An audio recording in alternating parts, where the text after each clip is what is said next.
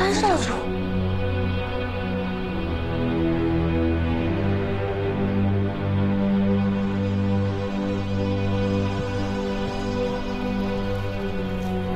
有人举发九川美食会，明面上是酒楼，实则是东家在暗中行有伤风化之事，今日护政司要肃清风气，必须彻查。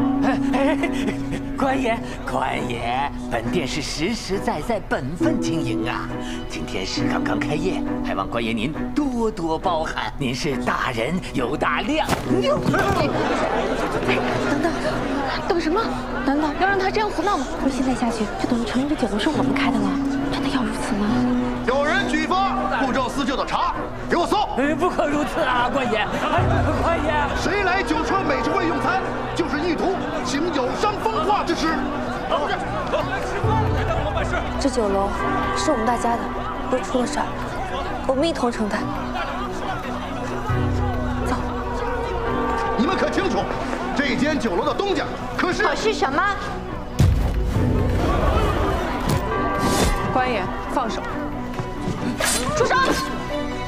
新春律法里头可没有哪条准你对无辜宾客动手。这位官爷想必没有护政司签发的公文吧？但您却敢带着这么多公差上门，妨碍我们生意，莫非新川的规矩与我们金川不同？都说九川美食会的东家是女子，看来这并不是谣言啊！你们几个女子明目张胆的做生意，那就是有伤风化。我我今天非得非得怎样？律法可说了，女子不得做生意。如今您倒是大过律法了。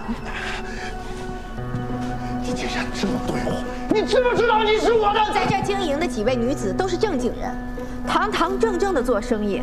来这的客人不知道东家是什么身份，若有人觉得我们丢人，也是丢的我们自己的脸面。与旁人无关。